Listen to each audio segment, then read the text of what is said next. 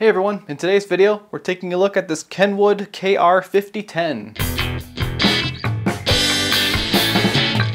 I've actually had this kicking around for over a year now. It was actually part of the deal where I sold the original V12 out of my Jaguar. The guy who bought that added this as additional payment along with two other fun receivers we're going to get to look at in the future here. This one appears to be from the late 70s from what I can tell. And I am told that it has a blown output or something or it just uh, quit working and that's why it was uh, shelved and put away. Let's take a closer look at this thing, get to know it, and then uh, put it on the dim bulb and see what happens. So it is a mid-level Kenwood. I believe it is rated at 45 watts per channel. It's uh, pretty basic here, not too many great features, but one thing I think is really cool about this is we have power meters actually.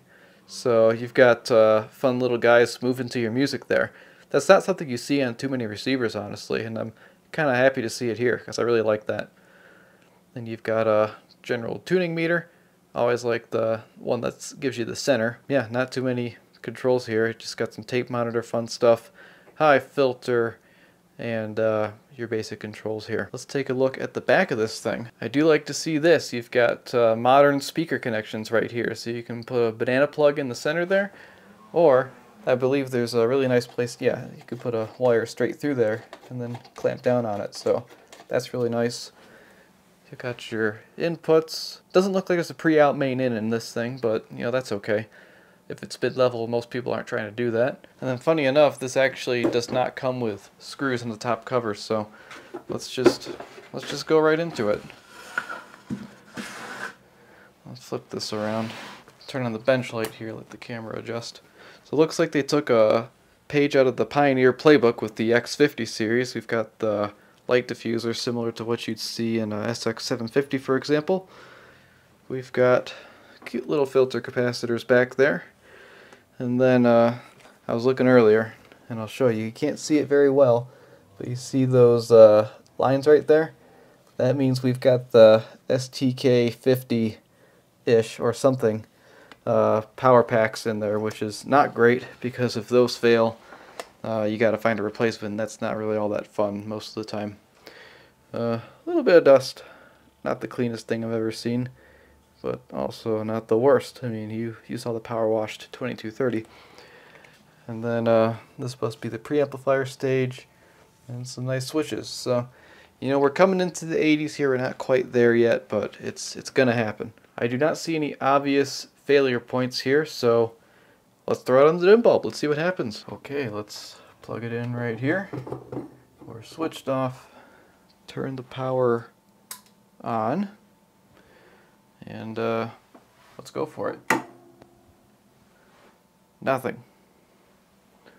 Is the power actually on? Maybe. Alright, time to check the fuse. There is no fuse in the back, but what I can see right here is uh, the fuse, because these are these are your mains, and it's coming right into the transformer. And uh, yeah, that's going to be where the fuse goes. Okay, I don't have any 4 amp, but I have a, a bunch of 3 amp and uh, one 5 amp. So let's just sacrifice this one uh, 3 amp fuse right here. Man, what a what a pain in the butt place to put it. That's no fun. Now we are fused. We're turned on. And now let's throw this dim bulb. I think we're going to get a nice bright bulb. What do you think? Uh-huh. Yep. Alright, I know what that means. It means one of these is bloated. Bloated very bad. See, that's not getting dim. That's just, it's all going straight through. And the fuse is uh, just taking all that, so. Okay, that's fun. We're going to have to pull the bottom cover and get a look at those modules. We're going to pull them one by one and see what happens.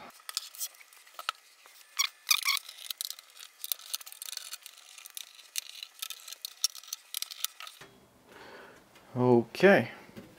Not too dirty under here. Could use a nice brief wash. And there it is. The Darlington Power Packs.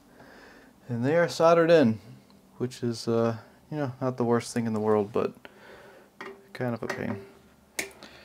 Let's, uh, let's work on getting these out, huh? we're going to start right here with this one.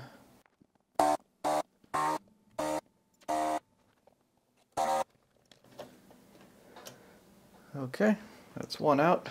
And actually, fun fact, I already blew the fuse in this thing because I went to go plug this into the dim bulb and uh, yeah, I plugged it into the wall instead on accident. So that's a that's a costly mistake these days, you know. For some reason, fuses are extremely expensive. We have one pack pulled, not sure which channel, so let's see what happens now when we do this. Okay.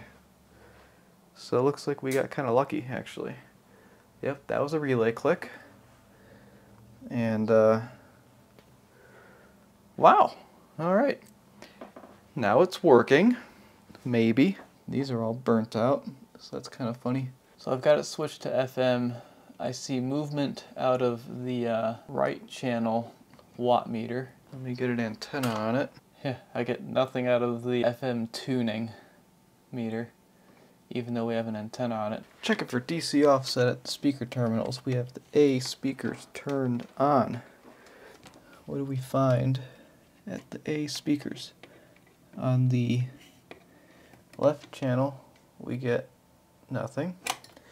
And on the right channel, we get nothing. So it looks like our right channel is functioning.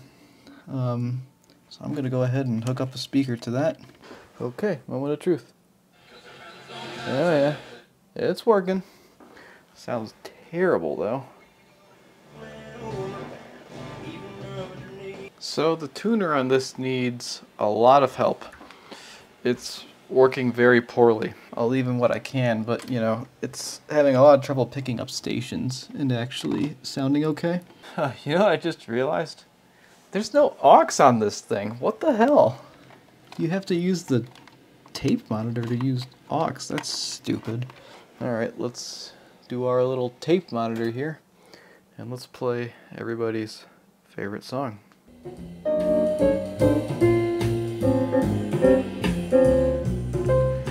Well, we've got okay performance out of the uh, right channel here. Sounds good.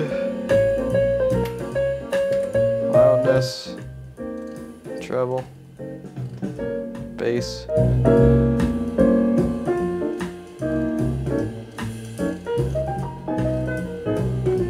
Alright, so what are we in for here? What we're in for is uh, finding a replacement for the STK50. X-Ray Tony B, I'm going to talk about him again. He just went through a video series about a Fisher amplifier that had these STK50s. So we'll see if I can get one of those replacements or if I go to get a counterfeit eBay thingy. Uh, the tuner works terribly. It's probably because it's this open cap right where the dust cover is, which is, again, stupid very bad placement of the tuner cap. You could have put it up here and then it wouldn't have gotten covered with dust. But, you know, they decided to put it there and it's it's filthy. So here we are. Um, maybe a good cleaning if that'll fix everything. I don't know. We'll find out. But yeah, then cleaning of the controls. Uh, probably replace a few caps in here. I see some orange ones that aren't fun not too much to this thing, also not too hard to work on. I mean, the bottoms of these PCBs, you just flip it over and you can get right to everything. So, I think I'll get started on cleaning the tuner cap, because that's easy, and I can do that right now. And we'll see if that helps anything. So the way we're going to do this is we're going to start right here. This is basically just CRC in a different can.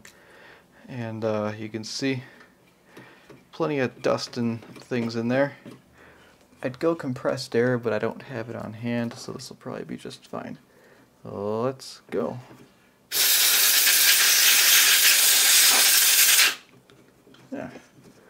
Looks better already.